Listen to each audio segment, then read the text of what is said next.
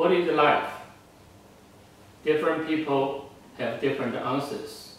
In 1957, Dr. Crick proposed that life is a process. It starts from DNA, and the DNA makes RNA, and RNA makes protein.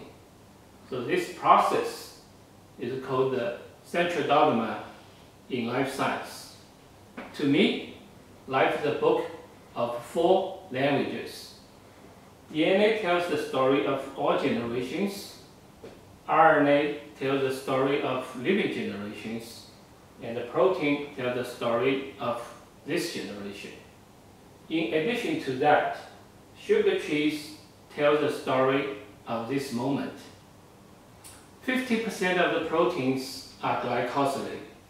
Our cells are covered with sugar trees, like this, conjugated on proteins and the lipids.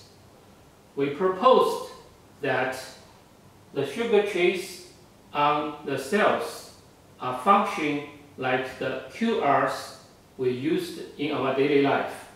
For example, we use this WeChat BioQR for the quick communications. So we named the sugar tree the biological quick recognition science or BioQR. My lab is trying to gain better understandings of sugar trees or BioQRs. Two years ago, a summer student, Rebecca, joined my lab. We decided to using the Lego-like blocks to build BioQR. So we started our job with glucose. So that we made our design based, based on the chemistry of the, of the glucose. So first we give a color to the glucose.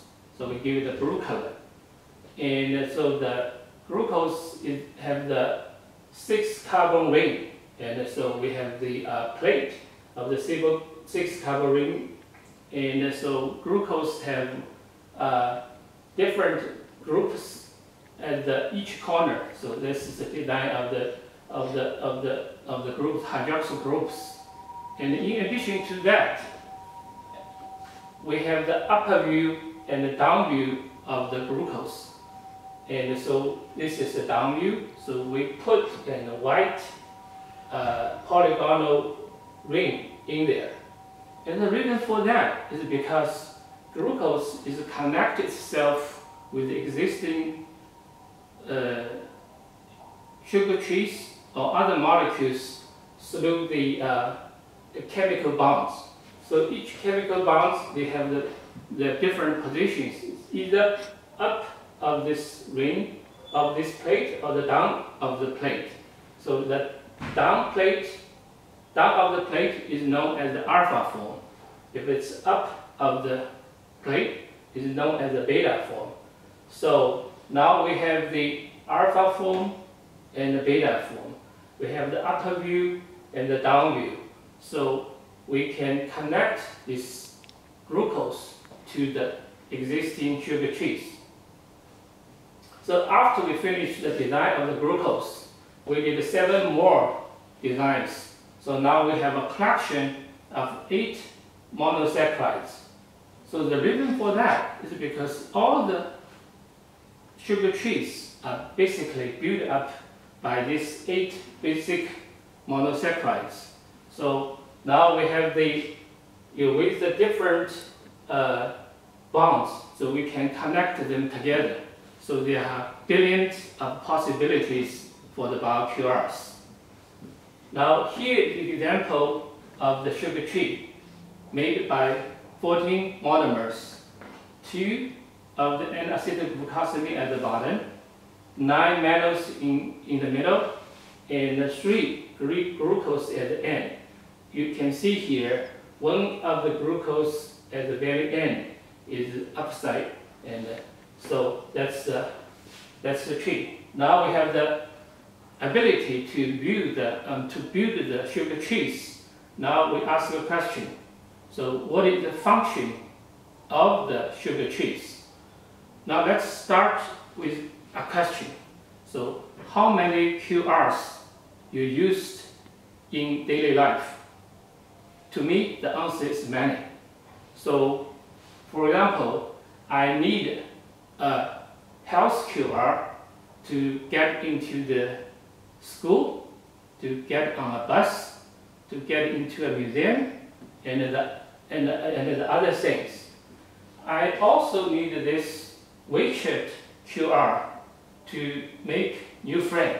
So by screening, we can connect with the new friend very quickly. And we can also, I can also use this bio QR to invite you to visit my lab. And uh, so comparing to the QR, so here let's look at the, what's happened to the bio QR. So I will show three specific examples of the BioQR and their applications. So the first case is the species specific BioQR. So the, the, here are red blood cells. And this is the pig red blood cell, and this is the human red blood cells. They all have the species specific BioQR. So comparing the human red blood cells, the pig red blood cells BioQR have an extra, extra galactose on that. Because of this extra galactose, and the human blood have the antibody against it.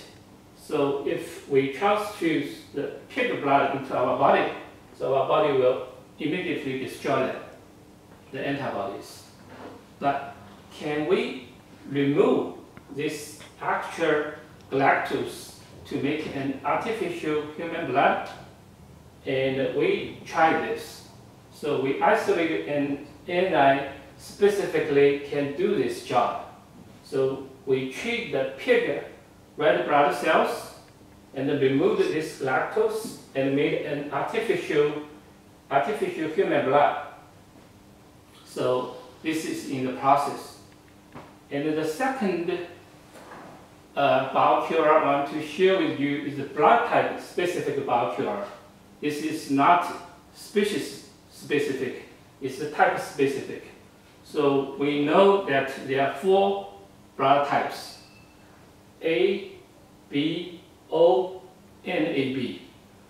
And it's determined by the BioQRs on our blood cells. So this is the root of the of the BioQR, and here the A type have then green spot, green uh, mono, green spot in here, and this is the B type. It's a red spot here, right? But for the O type, this is empty. But may, you may not know that there's another rare blood type called the Bombay blood type. And for the, this group of the people, their blood, their BioQR on their blood do not have this fucose in there because they don't have this fucose. And so in their blood, their antibodies against the type-specific BioQRs. So they cannot receive the blood transfusion from ABO groups because they have an antibodies in there. So for this group of the people, they have facing a, a medical challenge. So if they need surgery, so they can only receive the blood from this group, cannot receive from the other group.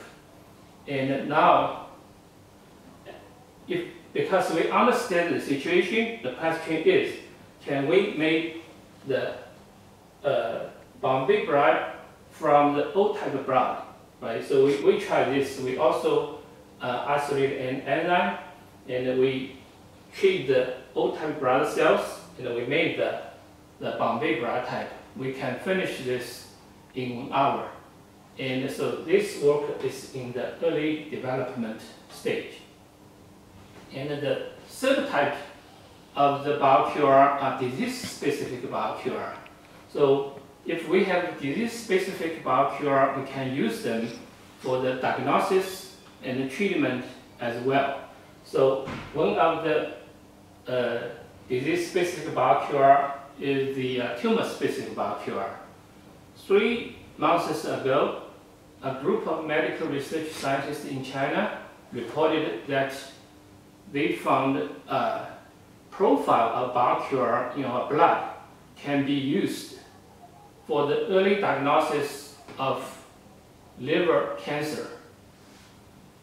In this month, a paper published on Nature Communication indicated that comparing to the normal cells, some of the tumor cells, their surface uh, have high density of the sialic acid.